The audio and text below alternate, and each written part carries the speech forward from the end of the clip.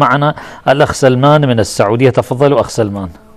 الله يسلم السلام عليكم عليكم السلام ورحمة الله. وعليكم حياكم السلام الله. ورحمة الله. حياكم الله. آه، شيخ كمال آه، أتمنى أن يتسع صدرك الرحب إن شاء الله. لمداخلتي هذه. تفضلوا. كذلك الدكتور الفاضل المذيع. آه، اولا أنتم لا تعطوننا فرصة في مسألة الحوار أو أو إكمال حتى السؤال. فلا أدري هل هناك يعني تخوف منكم على انه أبداً. يسمع من- أبدا. أي، تفضل أتمنى تفضل حفظكم الله. تعطوني نعم. متصل. في موضوع. آه، فرصة حتى يستفسر حتى يقول ما عنده. لأن أحيانا نحن نستمع إلى قناة صفا فأراهم يعطون عطاء يعطون المتصلين يعني خاصة لا بد من وجود منهجية أخي الكريم. يعني ضمن موضوع البحث نعم ولكن إذا كان السؤال يخرج والحديث يخرج نعم. يعني الإنسان أحيانا يتكلم يعني يس- يتصل ويتعب نفسه وكذا ثم لا تعطونه. طيب ففرصة في مسألة طيب، فعندي طيب، تفضل. نقاط أريد أن أعرضها على فضيلة الشيخ الله يحفظ الجميع ويوفق الجميع لما يحب ويرضى طيب أولا ليس عند أهل السنة والجماعة أحد المعصوم أبدا بل طيب. كل يؤخذ من كلامه ويرد عليه طيب. إلا صاحب قبر إلا صاحب ذاك القبر كما قال الإمام مالك إلا محمد صلى الله عليه وسلم طيب. فابن تيمية آه عالم من- من علماء المسلمين نعم. فإن أخطأ في مسألة فهذا من طبيعة البشر. طيب ولكن لابد أن تبين إذا- يعني. إذا, إذا, إذا, إذا فرضنا أنه أخطأ نعم. فإذا أخطأ فإن ذلك من طبيعة البشر.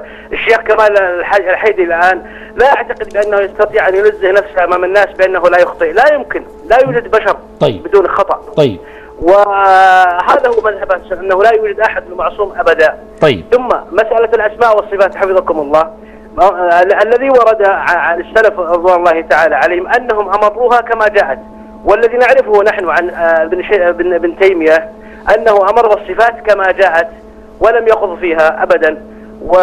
ولم انتصر. انتصر كثيرا لل- للتجسيم. انتصر كثيرا وقال فأقول وأرد. الآن أنا لم تستمع أخي الكريم إلى ما تفضل به السيد قبل قليل. حفظك الله دكتور بس أكمل مداخلتي. طيب الله يحفظك. طيب طيب تفضل طيب. المسألة المسألة الثالثة الثالثة أن نعم. ابن تيمية حتى وإن أخطأ في شيء في مسألة معينة مثلا. نعم.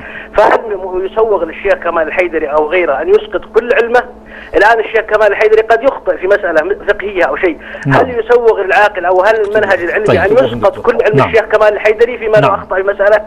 يعني الشيخ الأسدي أول أمس أنا أستمع له وتداخلت معه كان لطيف جدا وكان كان يلوم علماء الشيعة في مسألة اللطم آه التطبير عفوا ويقول أن التطبير هذه تشوه الصورة فهل كل من قال من, من علماء الشيعة بالتطبير هل نسقط علمه طيب، كله طيب، ونسقطه طيب، وكأنه لا شيء؟ طيب.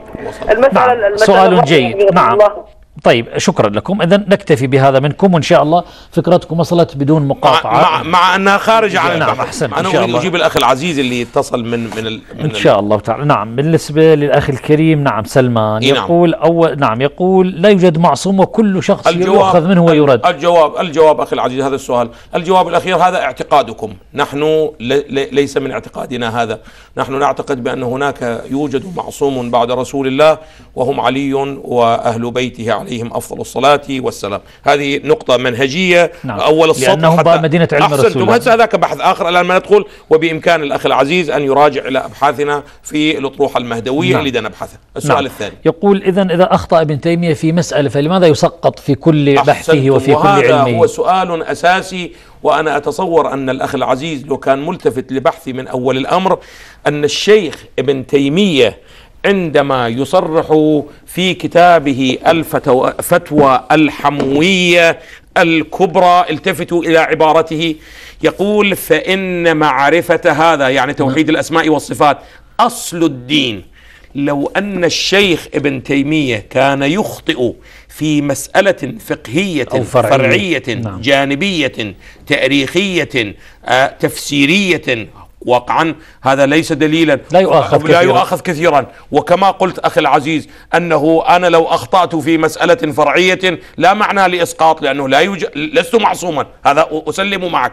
ولكن أخي العزيز هو ده يخطئ في ماذا؟ في أصل الدين. ده يخطئ في أصل الدين ده يخطئ في أصل التوحيد أصل الهداية. إذا كان الأمر كذلك عند إذا سقط أصل الدين عند ذلك لا يبقى سقط الدين كله. سقط الدين كله لا, لا يمكن نعم. أن نرب أن ن- نقايس بين هذه المسألة أحسنت. وبين تلك المسألة هاي اثنين وثالثا جيدا أنتم أخ- اخرجوا للناس وقولوا قولوا نحن نوافق الشيخ ابن تيمية في هذه المسائل ونختلف معه في عقيدة التوحيد. لا أن يكون شيخ الإسلام بكل شيء. لماذا تحاولون أن تسوقون الشيخ ابن تيمية على أنه هو الممثل لأهل السنة في كل العالم؟ مقياس الإيمان وهو والكفر. مقياس الحب والبغض والإيمان والكفر. نحن حديثنا معكم في هذه النقطة التي وقفنا عندها. أحسنتم.